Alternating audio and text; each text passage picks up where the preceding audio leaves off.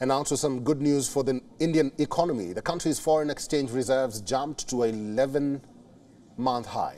India's import cover rose by about $7.2 billion to nearly $596 billion in the week that ended on May 5th.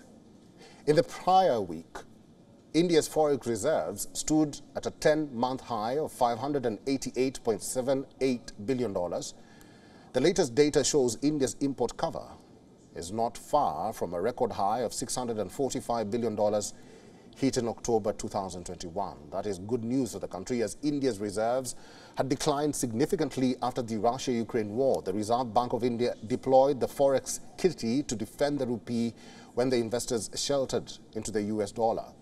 A healthy forex currency reserve helps India pay for its import and keep the rupee stable. Interestingly, India's growing forex reserves are in contrast to Sri Lanka, Pakistan, or even Bangladesh, where declining forex reserves are making import payments difficult. That clearly shows India's prominence and a growing disparity in Asia.